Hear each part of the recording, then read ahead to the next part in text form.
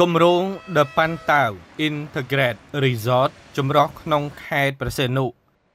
Resort ចម្រុះក្នុងខេត្តប្រសេនុគ្រោងនឹងបង្កើតកន្លែងកំសាន្តដ៏ធំបំផុតនិងមានទីតាំងពិសេសបែរមុខទៅឆ្នេរសមុទ្រដែលគម្រោងនេះមានទីតាំងស្ថិតនៅខាងត្បូងនៃផ្លូវទី2ដែលមានចម្ងាយ600ម៉ែត្រពីរង្វង់មូលតៅ2និងនៅចំកណ្ដាលក្រុងប្រសេនុ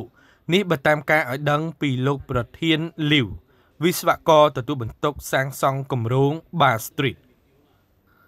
លោកប្រធានលីវបានឲ្យដឹងទៀតថាគម្រោង Bar Street គឺជាគម្រោងមួយរបស់ក្រុមហ៊ុន China Railway Urban Construction Group ដែលត្រូវបានបិទបញ្ចប់ការសាងសង់ដោយចំណាយរយៈពេល6ខែប្រកបដោយជោគជ័យនិងព្យាយាមបន្តការសាងសង់គម្រោងដំណាក់កាលទី2 បញ្ចប់ត្រឹមខែតុលាខាងមុខនេះដើម្បីប្រគល់គម្រោងទៅម្ចាស់គម្រោងដើម្បីដាក់ឲ្យដំណើរការគម្រោងនេះគឺជាគម្រោងដំបូងគេដែលមានផ្ទៃដីបាតទំហំជាង41700ម៉ែត្រមានកម្ពស់2ជាន់ពីដី និងអាគារមានកម្ពស់ជាង26.55ម៉ែត្រដែលមានរូបរាងជាអក្សរ L និងមានកន្លែងសម្រាប់ហាត់ប្រាណភោជនីយដ្ឋានលំដាប់ខ្ពស់អាងហែលទឹកក្លឹបកំសាន្តនិងទីកន្លែងសម្រាប់លំហែជាលក្ខណៈគ្រួសារនិងឯកជនជាដើម ដោយបង្កើតនៅលំហផ្ដាច់មុខមួយកន្លែង ដោយគោរពតាមបទពិសោធន៍សេវាកម្មដែលលើសពីស្តង់ដារអន្តរជាតិមានទីតាំងជាប់តំបន់ឆ្នេរសមុទ្រលោកប្រធានលីវបានបញ្ជាក់ទៀតថាក្នុងអំឡុងពេលនៃដំណើរការសាងសង់ នាយកដ្ឋានគម្រោងបានកែលម្អការយល់ដឹងអំពីសវត្ថិភាព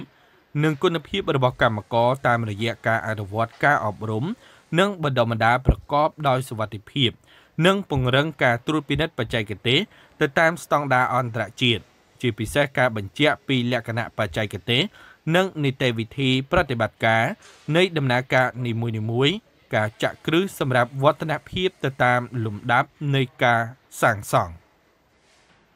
វិស័យសំណង់គឺជាវិស័យអាទិភាពមួយរបស់រាជរដ្ឋាភិបាលកម្ពុជា ហើយក៏ជាឆ្អឹងខ្នងក្នុងការអភិវឌ្ឍសេដ្ឋកិច្ចជាតិផងដែរសម្រាប់ការវិនិយោគរបស់ក្រុមហ៊ុនចិននេះដោយយោងលើគោលនយោបាយខ្សែក្រវ៉ាត់មួយផ្លូវមួយ